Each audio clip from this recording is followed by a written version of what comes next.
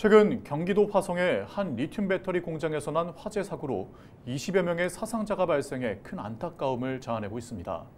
조사 결과 참사 이틀 전에도 화재가 발생했지만 신고조차 하지 않은 것으로 드러났는데요. 최근 여수 국가산단에서 잇따라 발생한 화학물질 사고 역시 지연 신고되면서 논란이 일고 있습니다. 보도에 송하연 기자입니다.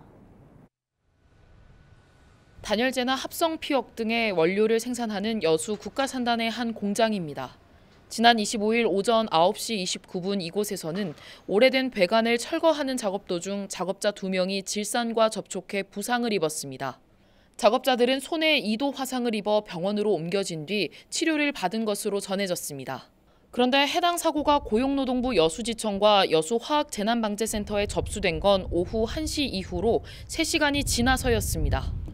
지난 7일 여수 산단의 또 다른 공장에서 화학물질 사고가 발생한 지 불과 19일 만에 또다시 유사한 일이 반복된 겁니다. 그 이도화상이라고 진단을 받고 나서 동부에 신고를 한 걸로 알고 있습니다. 환경부는 화학사고에 대한 즉시 신고 규정을 마련해 두고 있습니다. 이에 따르면 화학물질이 유출 또는 누출돼 인명피해가 발생한 경우 양에 상관없이 15분 이내에 소방이나 관리기관에 신고해야 합니다. 하지만 이번에도 해당 규정이 지켜지지 않은 겁니다. 여수화학재난합동방재센터는 화학물질 관리법을 토대로 위법 사항이 있었는지 조사하고 있습니다.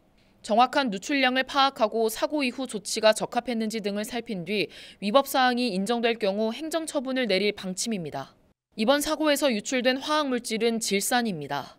발연성 액체로 접촉 시 화상을 입을 수 있고 흡입할 경우 기관지와 폐가 손상될 수 있습니다. 이처럼 화학물질은 관리가 부실하면 대형 인명피해로 이어질 수 있어 이를 최소화하기 위해 신속한 신고가 요구되고 있습니다. 하지만 실제 산업 현장에서는 제대로 지켜지지 않는 것이 현실입니다. 대형 참사로 이어질 수 있는 아주 위험한 사고로 초기의 판단과 대응이 가장 중요합니다. 사고를 은폐하고 신고를 지연해서 사고 대응을 방해해서 위험을 키우는 회사 법인과 관계자들에 대해서는 강력한 처벌이 필요합니다. 지난 2021년부터 현재까지 발생한 여수 산단의 화학물질 사고는 모두 19건.